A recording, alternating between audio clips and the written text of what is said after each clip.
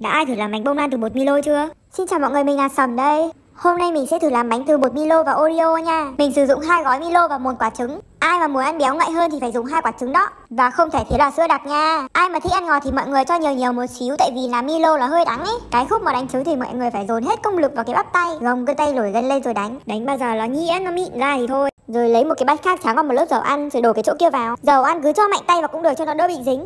Tiếp theo là một chiếc bánh thơm ngon đến từ Oreo. Khúc này là mọi người đổ vừa vừa sữa tươi thôi nha. Mình đổ quá tay nên đã phải hút bớt sữa đi. Ôi, nhưng mà cái sữa mà dính Oreo ấy, hút nó thơm cực luôn. Cái này thì không cần phải đập lát trước Oreo rồi mới cho sữa vào đâu. Khúc này không biết mọi người có liên tưởng đến cái gì không? Rồi mình để nướng hai cái cùng một lúc luôn. Xem trên mạng thì người ta bảo là 180 độ để 3 phút, rồi chín, Nhưng mà mình chưa thấy chín. Nên là mình quyết định để thêm 5 phút nữa. Để thêm 5 phút nữa thì nó hơi bị quá tay. Không sao không sao, nó chỉ bị đen tí ở trên đầu thôi. Em nó vẫn rất là ngon luôn, ăn béo ngậy cực.